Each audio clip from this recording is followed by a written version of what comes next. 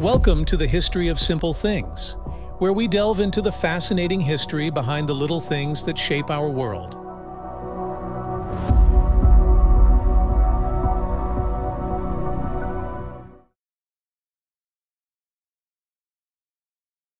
Basketball. It's more than just a sport. It's a global phenomenon that has captured the hearts and minds of millions, from street courts to massive arenas.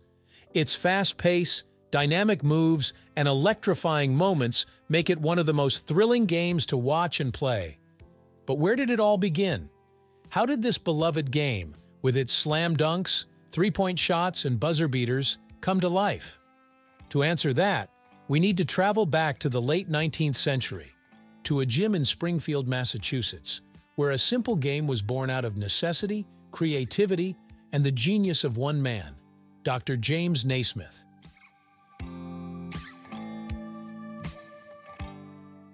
James Naismith, born on November 6, 1861 in Ontario, Canada, had no idea that he would one day create one of the most popular sports in the world.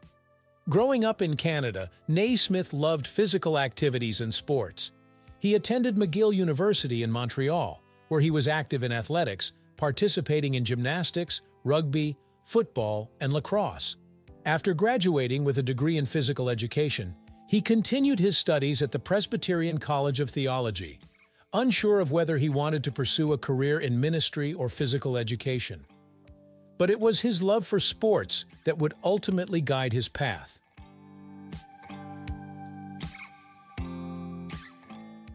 In 1891, Naismith was working as a physical education instructor at the International YMCA Training School in Springfield, Massachusetts.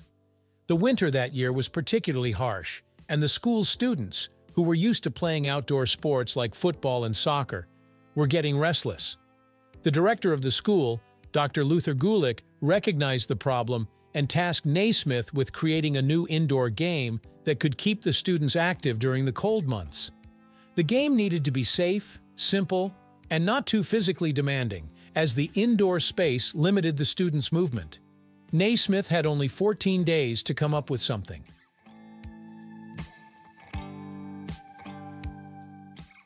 As Naismith thought about the problem, he recalled a game he played as a child called Duck on a Rock. In this game, players would try to knock a stone off a larger rock by throwing smaller stones at it. Naismith was struck by the idea of combining elements of throwing with an objective that required both skill and precision.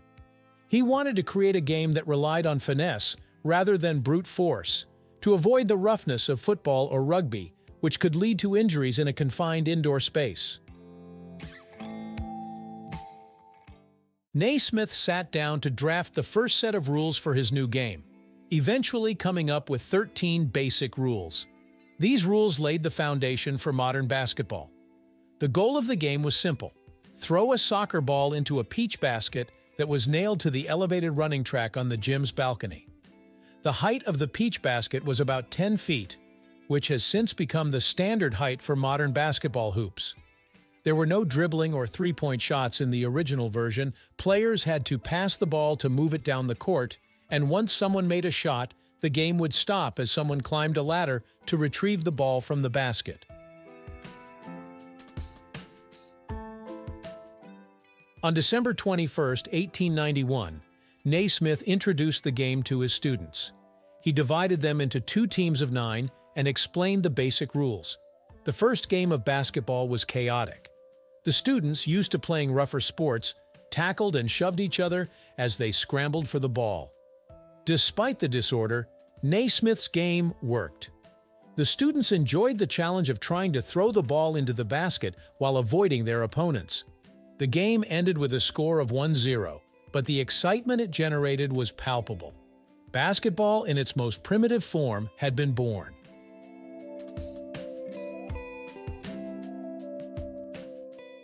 Naismith's new game quickly gained popularity within the YMCA network, as it was easy to play and didn't require expensive equipment.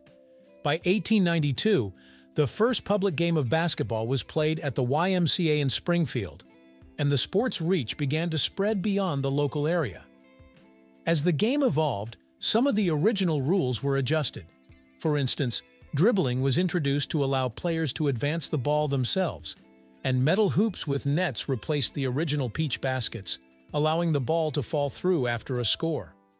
The number of players per team was eventually reduced from 9 to 5, and other changes, such as the addition of a backboard and the introduction of the free throw, gradually transformed the game into what we recognize today.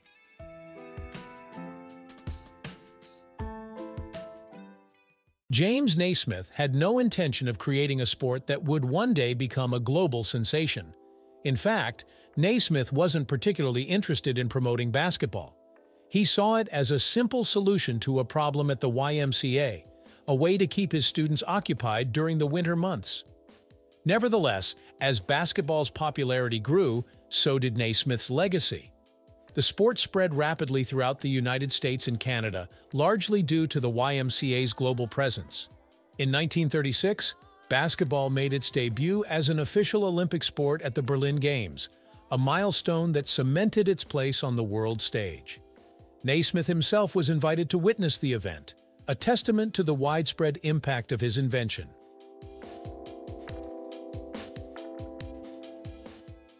Basketball's appeal transcended borders and cultures, evolving into a sport that is now played and watched by millions worldwide. The introduction of professional leagues, such as the NBA, further catapulted the sport into mainstream popularity, producing iconic athletes like Michael Jordan, Kobe Bryant, and LeBron James, whose skills and personalities turned basketball into not just a sport, but a global cultural force. The game continues to evolve, with innovations like the three-point line, slam dunk contests, and even advancements in training and athletic performance pushing basketball to new heights.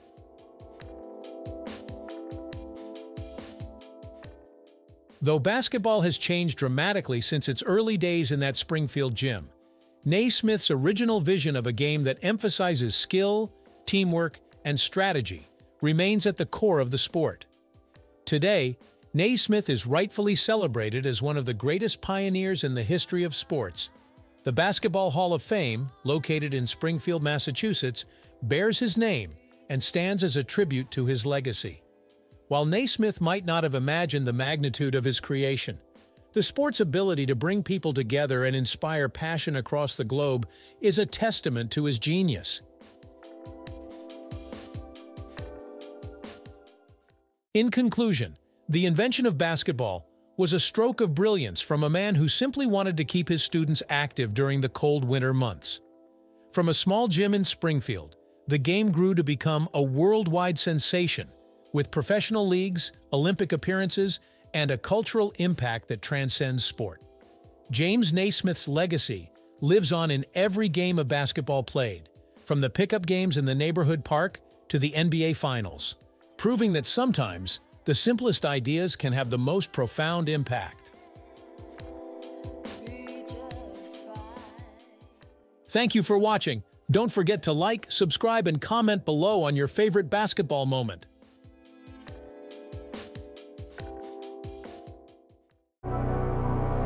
Thank you for joining us on this journey through the history of simple things. Don't forget to like, subscribe, and stay tuned for more stories woven through the smallest details.